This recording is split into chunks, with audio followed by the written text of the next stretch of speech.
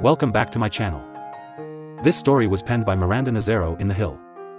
New England Patriots owner Robert Kraft called out Russian President Vladimir Putin on Sunday, telling the leader to give him his FING ring back, in reference to a long-running allegation that Putin stole one of his Super Bowl rings during a 2005 meeting.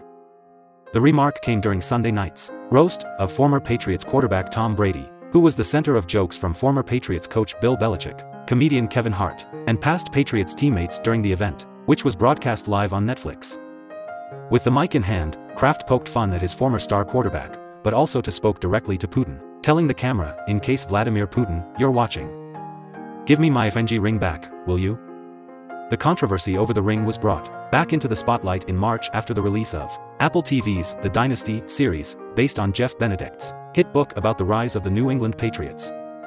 In the 2020 book, Benedict wrote about how Kraft, in 2005, accepted an invitation from banker Sanford Weill to travel to Russia with Rupert Murdoch and a group of high-profile CEOs to meet with Putin and stimulate commerce between the US and Russia. The meeting took place in the summer of 2005, months after the Patriots won Super Bowl 39.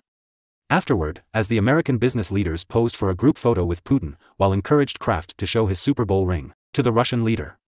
Kraft retrieved it from his pocket and handed it to Putin. Benedict wrote in The Dynasty. Putin admired the ring's size and its 124 diamonds. I could kill someone with this ring, he said as he slipped it on his finger and made a fist. Kraft allegedly told Putin he could kill someone without it, since he was the head of the KGB, Benedict wrote. As Putin removed the ring, Kraft put out his hand. But Putin slipped the ring into his own pocket, Benedict wrote.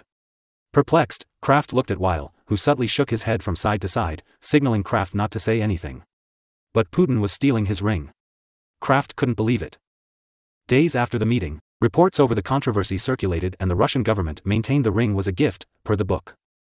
Kraft later received a call from the then President George W. Bush's White House, which suggested it would be in the country's best interest if Kraft put an end to the controversy by stating publicly that he had intended the ring to be a gift, according to the book. Kraft eventually honored the Bush administration's request and released a statement that he gave Putin the ring as a symbol of the respect and administration for the Russian people and Putin. Kraft has won a total of six Super Bowl rings with the Patriots. The Hill reached out to the Russian government for comment. Please subscribe, comment, like, share, and follow for more content. Please support my channel by sending it to Cash App Dollar Director 327 Thank you for your gift it is greatly appreciated. Thank you for watching.